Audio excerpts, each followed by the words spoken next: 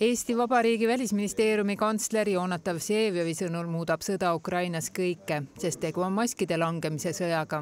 Venemaa ei sõdi mitte ainult Ukraina riikluse vastu, vaid ka Euroopa ja kogu demokraatliku maailma julgeoleku põhimõtete vastu.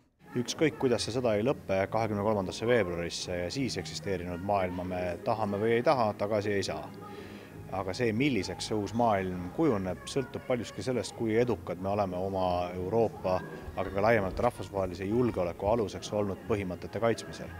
selle põhimõtte, et üks riik ei sea teise riigi eksistentsi kahtluse alla, et üks rahvas ei tühista teist rahvast, et riigid ei muuda teineteise piire relva jõul, et nad ei vetosta oma naabrite kõige olulisemaid julgeolekupoliitilisi valikuid kõik need põhimõtted on ju täna Ukraina sõjaga seoses sattunud kaalukausile.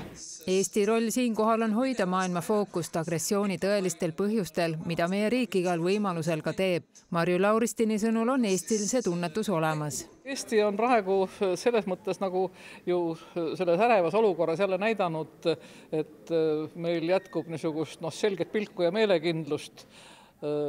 Ma arvan, et see on väga oluline.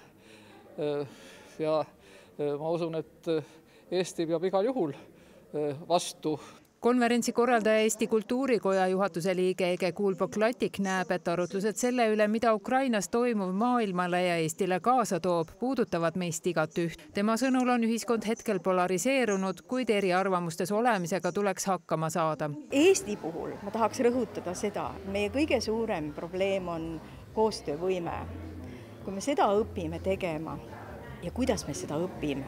no ikka läbi mõtestamise ja arutamise, oma tõe rääkimine ja mitte mingil juhul mitte kuulamine. et äh, kuidagi sealt me peame ka leidma selle läbikäigu raja, muidu edasi ei saa